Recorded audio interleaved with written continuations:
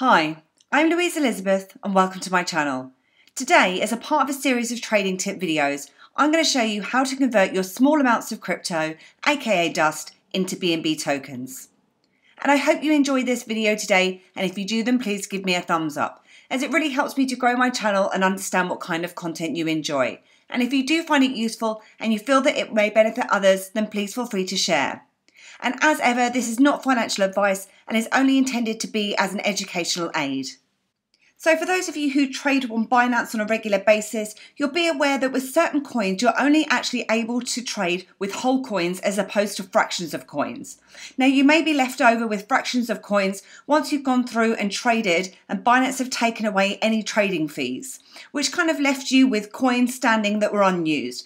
However, what Binance allows you to do is to convert those small balances or dust into Binance BNB tokens, which you can then trade with. So what I'm going to do is I'm going to take you through that process now. And I have done a full tutorial and review of Binance. And if you'd like to take a look at that, I'll put that in the top right hand corner now. But the first thing we're going to do is start off by going to our account balances.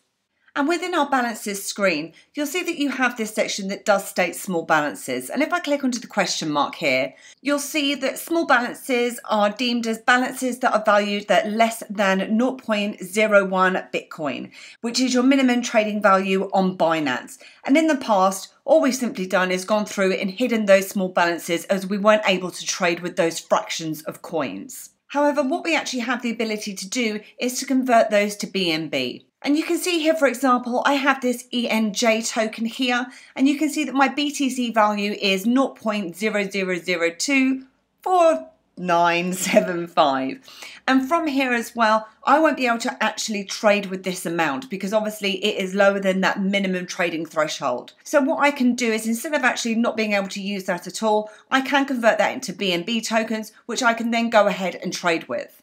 And the same will apply for many other different types of tokens that I have in here. For example, I have this BCPT, IOTA, etc, etc, etc.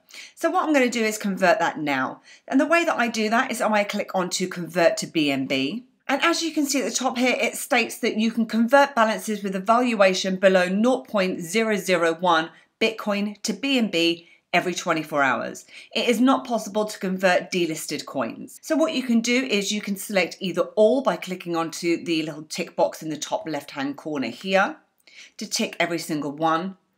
Or you can select the individual coin that you would like to go through and convert into BNB.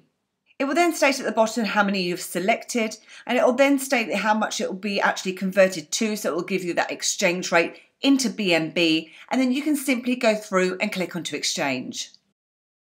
It will then come up asking me to confirm. So it's stating here that the approximate BNB value is 1.16994311 and I can either go through, click onto confirm or click onto cancel. So I'm obviously going to click onto confirm. And it will then state that the small balances have successfully converted. The selected small balances are converted to 1.6994311 BNB based on the market rate. Please check the conversion history page to view your updated balances. And we can then see in this small asset conversion history, it gives us the date, it states the fee, the converted BNB value, and it tells us what that operation was, and that is the conversion detail that we can then click onto and it then provides us with a breakdown of all the coins that we have converted, states the amount of fee, how much it's converted to in terms of our BNB tokens. So that was a very quick video, an overview of how you go through and convert your small balances on Binance into BNB tokens. And if you'd like to see more tips, reviews and tutorials, then please hit subscribe to my YouTube channel.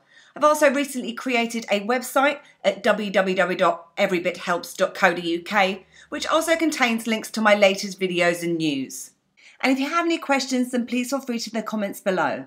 Thanks, and I'll see you soon.